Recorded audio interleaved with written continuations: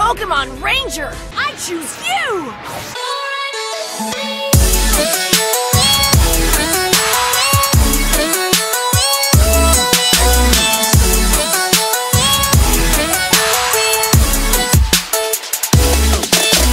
What's up guys, it's your Ranger Boy here and welcome to another discussion video about something which really concerns me when it comes to the future of the Pokemon anime. Again, really sorry for not uploading as I used to, but as you guys might know, I'm still really really sick and I really try my best to make as much videos as possible. But since I'm sick, I still had some time to watch some anime, and one of them was actually Yokai Watch. Oh my god, Long, how dare you watch that anime? It's currently the biggest rival of Pokemon. You traitor! Whoa, whoa, whoa, calm down guys.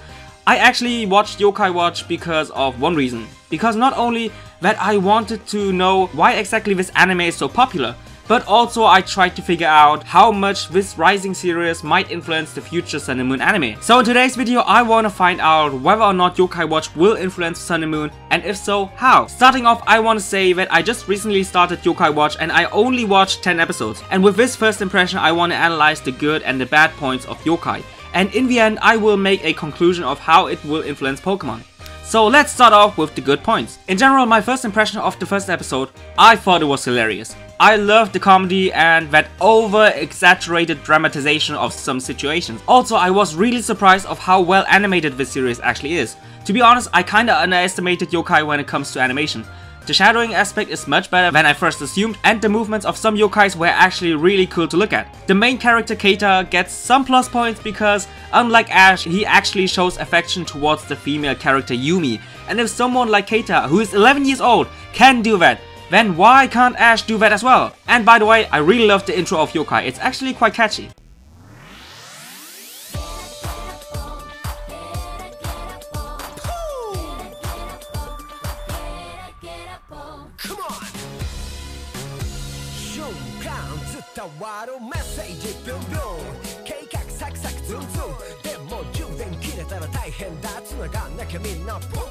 But what really impressed me the most is the whole concept of yokai, that no matter what kind of slice of life situation there is, from fighting each other to motivation to bully habits or even the urge of going to the toilet. Every behavior of life is caused because of a yokai and I actually really like that concept. But unfortunately yokai has some major flaws as well. The biggest problem I have with this anime is that it's a little bit too much aimed towards kids.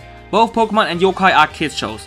But I have that feeling that yokai is aimed towards an even younger audience and specializes in humor and slice of life topics in Japan. For example, there was one episode about a yokai that reveals dirty little secrets and during that episode it possessed Yumi stalking Keita in the toilet and after that revealing to the whole class that he wasn't doing a number 1 but a number 2. Number 1 means taking a piss and number 2 means taking a shit. And in my opinion that wasn't really funny at all but in fact totally creepy.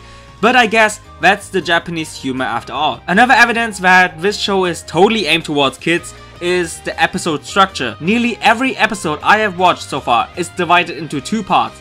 In the first part, they encounter a slice of life problem caused by yokai and then Keita solves it by becoming friends with that yokai. And in the second part of the episode, it's the same. They encounter a slice of life problem caused by a yokai and then he will solve it by fighting against that yokai and later on becoming friends. And that happened in nearly all 10 episodes I have watched so far. And I think these short segments are a result of kids having a short attention span. And to make kids watch the whole episode, they divided the episode like that. That's why I think that Yokai Watch is aimed towards kids too much and too obvious. Let's talk about the main protagonist Keita.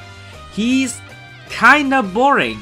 I mean, just like Ash, he has the ability to make friends really quickly, but he doesn't have any special features. His design is as generic as you can get, and his character is just normal. Hell, even in the anime, his friends call him boring or normal as well. And I really really hope that he will get some character development in some way. And that's why I will continue to watch that anime. And because of the episode structure and Keita as his bland and normal character, there isn't really a story in Yokai Watch. The first 10 episodes are just slice of life segments, with the intention of only pure comedy for kids with short attention span. Yokai Watch fans who are watching this video, please tell me in the comment section whether Yokai Watch will improve or not, because I'm still trying my best to watch this series. With all the goods and all the bads about Yokai, how exactly will it influence Pokemon? Unfortunately, it already started. Yokai Watch already has a massive influence on Pokemon and Moon.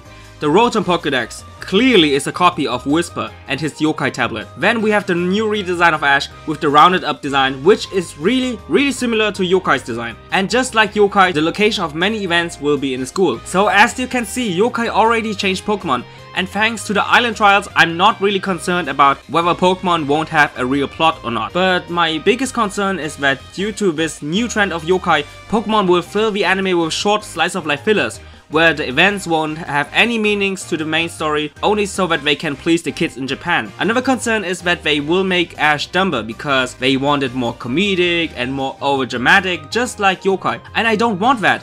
Comedy here and there is a good thing, but at a certain point of time I also want serious topics, just like in X, Y and X, Y and Z. Thanks to the new setting provided by Yokai Pokemon might drift away from the things we love about it, the action, the bonding with friends, and first and foremost Ash's goal of becoming a Pokemon Master. But like I said before, thanks to the plot with the Island Trials and Team Skull, I don't think that this will happen, but it's still possible because of how popular Yokai Watch is. But I just watched 10 episodes and I really, really hope that it will improve and that, and that it will also prove me wrong as well. But I just thought how scary it is that I recognize so many similarities with Yokai and Pokemon by only watching 10 episodes and that's why I wanted to share my opinion with you guys. So guys, I really hope you enjoyed this little discussion video. What do you think about Yokai Watch? Do you enjoy it? Do you absolutely hate it? And do you think that it will have a massive influence on Pokemon Sun and Moon? Tell me guys. And like always, see you guys in the comment section down below. Bye guys!